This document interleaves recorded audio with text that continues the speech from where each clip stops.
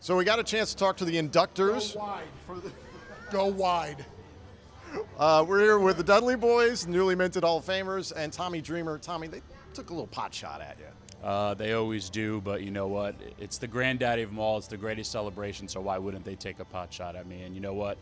They, I couldn't be prouder of my two friends. Ooh, I didn't cry out there, but I do. I'd get emotional. When we say we're brothers, we're brothers. We have been through the best of times, and tonight we're through the, I'm sorry, the worst of times, and now we're through the best of times. It's so real to us as performers because it's a celebration of your greatness. And these two are the greatest of all time. I have to go now because I don't want to cry because he will make fat jokes about fat people crying. No, I won't make fat jokes about you. I'll make jokes about the Tanner running off. the At least it's not my hair topics. See ya. Thank you, guys. yeah, thank you.